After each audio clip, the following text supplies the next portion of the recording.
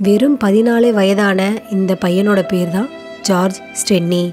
ஆயிரத்தி தொள்ளாயிரத்தி நாற்பத்தி நான்கில் முதல் முறையாக ஒரு எங்கான பையனை எலக்ட்ரிக் ஷாக் சேரில் உட்கார வச்சாங்கன்னா அது இந்த பையனை தான் இரண்டு வெள்ளை இன பெண்களை கொலை செஞ்சதா சொல்லி கருப்பின பையனான இவனை எலக்ட்ரிக் சேரில் பனிஷ் பண்ணப்படுறாங்க.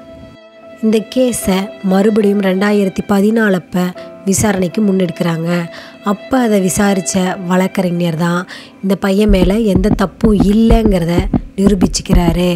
அப்போது உண்மையாக கொலை செஞ்சவன் இறந்து போகிற சமயத்தில் தான் அவனோட வாக்குமூலத்தை சொல்லியிருக்கிறான். இதனால் எந்த தப்பும் செய்யாத அந்த சின்ன பையன் எலக்ட்ரிக் சேரில் உக்காந்தி பரிதாபமாக இறந்து போயிட்டான்.